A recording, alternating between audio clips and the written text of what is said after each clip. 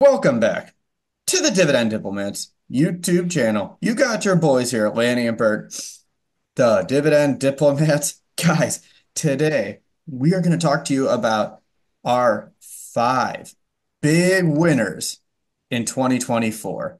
We're going to cover five dividend stocks that are beating the S&P 500 this year and are all on fire and the, that are earning the title big winners to date in 2024. We talked a lot about losers, guys, but before we talk about the winners, smash that subscribe button, give us a nice thumbs up.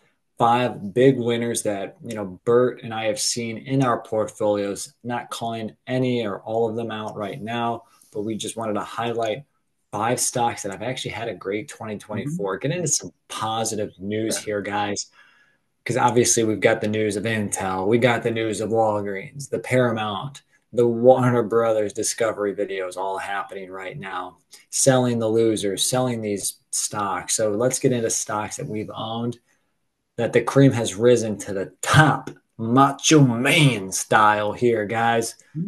But we got you know five big winners here, and you know they've all you know kind of in, are they definitely are interesting to say the yeah. least because a couple of them you probably won't expect Nope. And we'll go through and see who owns what each stock that we talk about. But Bert, yeah, hit him with nope. the first stock. And remember, no particular order here. All of these companies are beating the S and P 500 year to date. S and P 500 at the time of year, yeah, is it 5,648 40 at the time of this video, up 19.09%. Not bad, S&P. Not bad, baby. Get out of the way, man. Dividend stocks are back, baby. So remember, That's why I also buy VOO every day, mother effers. Yeah. So no order. We're not playing favorites here. These are just five companies, five dividend stocks that are beating the market this year. All right. Number one, International Number one. Business Machines, ticker symbol I B M. IBM is riding the AI boom to prosperity right now. Never in a million years, Lanny, entering 2024, would I have put a bet on will IBM be above $200 per share? But that's exactly where we are. The odds had to be at least what 50 to 1 that IBM is going to cross 200. They are sitting at 200 to 13. They are up 25.16% year to date. Yeah, where was that on the DraftKings app this year, guys? Where will IBM fall this year? But yeah, Bird owns IBM. I own IBM. Bert owns a ton. And I own a good chunk as well. But yeah, they're up 25% this year. They're still yielding over 3%, more than 2x what the S&P 500 yields. So man, they they are up 40 bucks in share price this year alone. Bert, mm-hmm. you've been enjoying that IBM ride up? Yeah, between my wife and I's portfolio, we have about 33 shares combined of IBM, so it's it's getting nice here at 200 too. And so I said in our last video with Intel, this is one of those ones that I'm still considering and I'm still on the fence about of do I take my money off the table with IBM? Mm. Is this the time to capture those gains for IBM while gains. they're gain season? So I would love everybody's perspective on that in this comment section down there. So that was that was IBM guys again on fire here. But let's get into a stock that Bert owns. I don't own this stock, but let's get into good old wild rattlesnake down in the state of Tejas. Yeah, I bought 27 shares of this company a couple of years ago when it was down, but it wasn't out clearly. We're talking Texas Instruments, ticker symbol TXN. See a theme here. Tech companies um, are on fire this year. Texas Instruments is the most boring of the semiconductor, and boring is great when it comes to the dividend investing world. They are up 26.63% year to date. That and their yield has now dropped to 2.40%. So Texas Instruments is trading at $214 and 34 cents. They're like, hey, IBM, your 202 is great. Here's my 214 share price. Here's my double bird for TXN. Bird owns Texas Instruments. I do not, unfortunately. But hey, congrats to all the TXN shareholders that were buying them when they were beat down and back in what was it, 2022, 2021? I can't remember the era. Yeah, that's a no, it was more 2022, 2023. I'm pulling up the chart now. I'll zoom it out to the five years and I'll put a picture of it up here. It was in 20 ended middle of 2022 was when they were below 150. That's when I started scooping some up. They dipped to that price here at the end of 2023. You bet it. If I if Texas Instruments ever drops back down into that mid 150, 160 range, I will be sprinting there. You will see me running a marathon to get more shares of I, uh, Texas Instruments. He'll be sprinting. He'll be sprinting to buy that stock, just like he ate a bowl, a bowl of oatmeal, uh, oatmeal and three cups of coffee. He'll be just sprinting.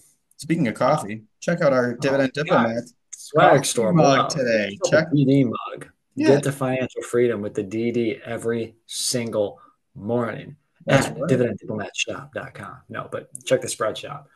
Third stock, guys, is a stock that my wife owns in her portfolio, and it's a stock that I've been looking to exit um, at around the $24 per share mark. We're going to get into Nordstrom, ticker symbol JWN. Surprisingly, this stock is up to $22.34. There were talks about taking them private, and you know I valued them around that 23, 24 share. So we're getting so close to that. I missed this window of opportunity about a month or two ago to get out. Um, again, just not a huge fan of retail, but we still own it. Up 22.14%, up $4 year to date. Again, a stock that you never thought would actually have a resurgence here in 2024. I love it. Uh, I freaking love it. And it was funny. Funny about Nordstrom. Uh, I'll have to find the video where it was when you were talking about selling the stock, and it was right before it popped into like it was you were on the cusp of selling. Like it was what eighteen dollars, nineteen dollars. You were like, I'm we're just gonna get rid of retail here very soon. You were that close. Thank goodness you didn't because you're sitting on some nice gains there and you're getting oh so close to that new adjusted price of 24. And I think it's funny that you oh, on three, ready. It's funny that you mentioned another stock, you know, a stock that we almost sold at the time of the video, but I was saying I needed a pop. Another stock that I talked about exiting but didn't was NetApp. This is the fourth stock on the list. Ticker symbol is NTAP.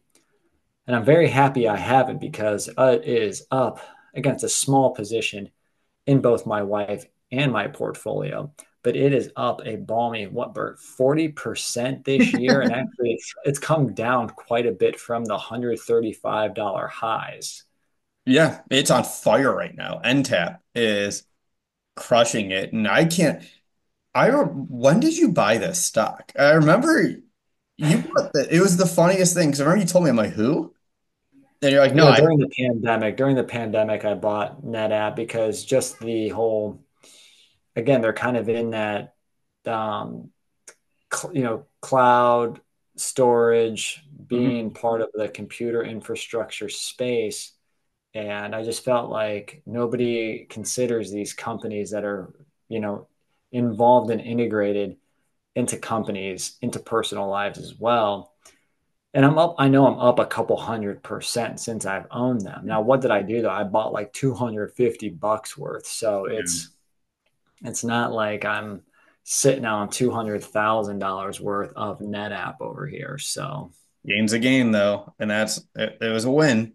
No matter what the size, the win is a win. Number five, round us out. Yeah, on this list. I actually don't own this one. My wife doesn't own this one. Is this in My your does. All right, that counts. We're gonna ring the bell here. Number five on our five dividend stocks that are beating the S&P 500 in 2024.